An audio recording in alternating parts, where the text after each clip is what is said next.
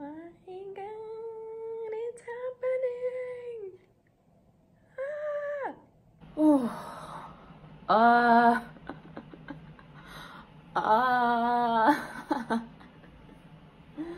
okay. First and foremost, oh my gosh, I finally, finally made my microblading appointment. Uh, if you don't know what microblading is, it's for my eyebrows. I'm so excited. When, uh, I like said, um, this second that like I found out microblading was as popular a thing as it's sort of become in the past. I'm having pasta at 1140. Is that weird? Um, I mean, for those of you who watched my channel, you'll know that my eyebrow saga has been going on for like the past nine, eight, nine years.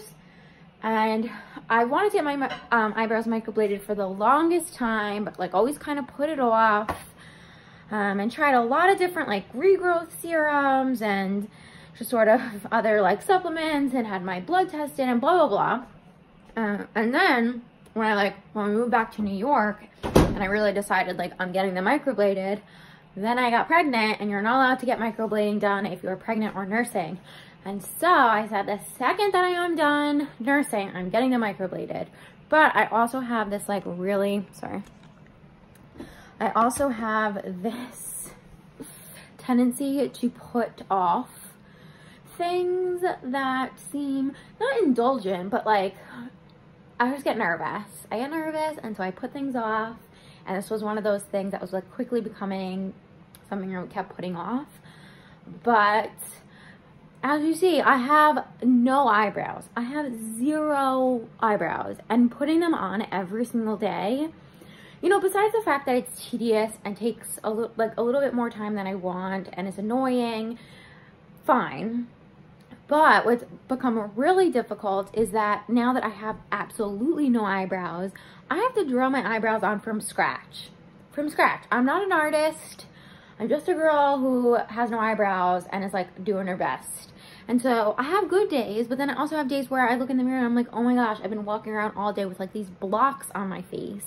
And also like no matter how much like powder I pack on top of the um, wax brow product or how much like freaking face spray I use to keep my makeup on, all it takes is like one wrong rub from either my hand or Hugo's hand and like part of my eyebrow is off my face. You know what I mean? And if I'm in public, that's kind of an issue. And so it's always in the back of my head. I'm like, oh, don't touch my face. So I just cannot wait. I'm so glad. Jeff and I were talking about it last night. And I was like, you know what? I feel like I need to get them done. I just feel like it needs to happen and I needed that like little bit of a push and Jeff was like, all right, well then let's do it. And in my head, I was thinking like, oh, I'll wait till January to get them done. And he was like, why? Why are you gonna wait till January?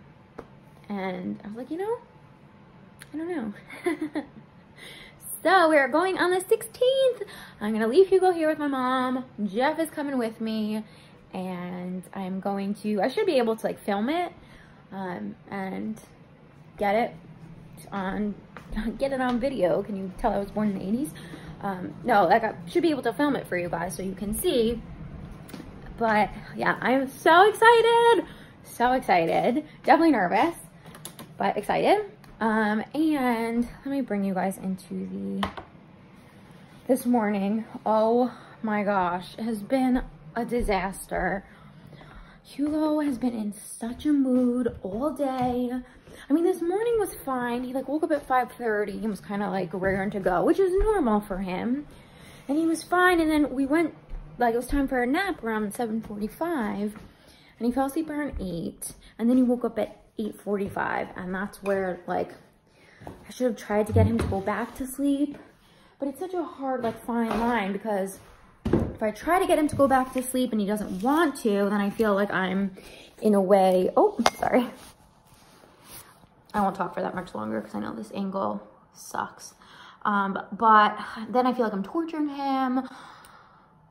So I like got up with him at 8.45, but he was just in like the worst mood and crying and annoyed. And then I tried to get him to go take, like I was like, all right, let's go back to sleep. Um, oh, um, I was like, all right, let's go back to sleep. That was, go up at 8.45, I think, or like maybe even 10 after 9. I was like, we need to like try to get you to go back to take a nap because he was restless, annoyed, frustrated, just like so whiny. And that normally is an indication that he hasn't slept enough. So I put him back in the bed and he's just like screaming, crying. He falls asleep for maybe 60 seconds until it's like close to like 9.40. Uh, and I was like, I can't. Let's get up. If you're not gonna sleep, you're not gonna sleep. And now we're like running into breakfast time and bottle time is 10.30. So I gave him his uh, breakfast, gave him his bottle. He was all over the place. Like normally he can sort of play on his own and keep himself busy. But no, he was just so annoyed. So I just, it's 11.45 now. He just fell asleep. And I just feel like so drained. I'm happy that it's 11.45 because part of me was like petrified to look at the clock. I was like, oh my God, please don't let it be nine. But it, like, it makes sense. I've been, we've been, like, it's so draining when your baby is like frustrated or annoyed, crying. And it's been about five hours of that. So I'm gonna decompress now. I'm gonna have my lunch. I need to do some editing and some other stuff. I really need to finish those Christmas cards. Um, and I'm gonna try to like press a little bit of like the reset button on today because I feel like I was really reaching my patience limit before and I hate that feeling. Like I hate when I feel like I'm gonna snap.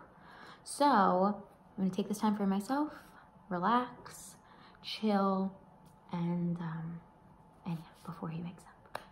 This is me trying to do the Christmas cards. Oh, now you have nothing to say? Now you have nothing to say? Oh my gosh, I'm trying to finish up these Christmas cards. And Hugo took a pretty decent nap. He took like an hour long nap. But since I brought him downstairs, he hates being in what we affectionately have started calling the circle of neglect. But mommy, like here's the thing, honey. Mommy is home with you every single day. And we play together like all day. We do, like all day we play. We play, play, play. Yesterday we played all day. Today, mommy just has to do like a little bit of work. This isn't even real work. This is me just writing Christmas cards. So, you have so many toys in there. You can play with all your toys. Mommy's playing Christmas music. I love you. Let's see. Whoa. Don't mind Hugo's little toy in the background. Uh, I just got a really fun shipment from Amazon. I thought I would share it with you. I think, I don't know what this is, so Actually, I think those are his teethers. But I ordered Brittani Louise Taylor's new book. She's a YouTuber. She's been a YouTuber for years and years. She's one of the like OGs.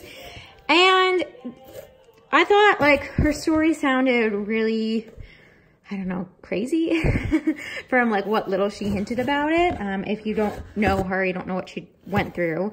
Um, she met a guy uh, via, I don't know if it was Tinder or Bumble or like an online dating app. And she thought that he was Prince Charming and that they would be together forever. And they had a baby together and were planning on getting married. And then I don't know if he was like abusing her. Like she said that he turned out to be someone like completely different. Um, sort of like how you would see in the movies, you know? Um, so I'm really, really excited to give this a read and I thought like supporting her um, and her journey would be really great. So excited to read that. And then, oh, these are the, oh, those are the packets of food. Let me open these up. So I got another order of these. Hugo loves, loves, loves these. They dissolve so easily. loves easily. Um, but they really, really do. And so I never have to worry about him choking. Um, he seems to really, really like those. And then I ordered a 10 variety pack. I'll link this down below. It's just 10 packets of the Happy Baby Clearly Crafted Food. And Hugo really likes those too. So I'm going to unload these. I think I'll give Hugo a little cracker because he's getting a little bit restless. And yeah, oh, it's almost, I think it's almost four. He did not want to take his afternoon nap. And so I'm feeling like a little, little run over, a little run down. Um, but gonna keep on trekking through. Love watching him. He's so cute.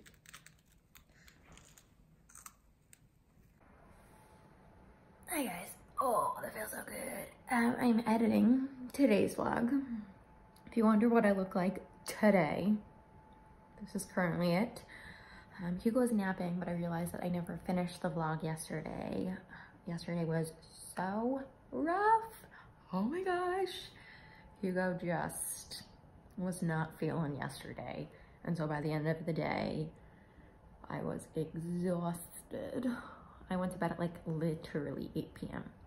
Um, but yeah, wanted to finish the vlog up. Today, so far, has been a little bit better. We'll see you guys tomorrow. That's today. You know what. You guys know. Oh, also I get to open up my advent calendar for today. Well, you'll have to tune in tomorrow to see which socks I get. Riveting, I know. Um, okay guys, thank you so much for watching and I will see you tomorrow. Bye!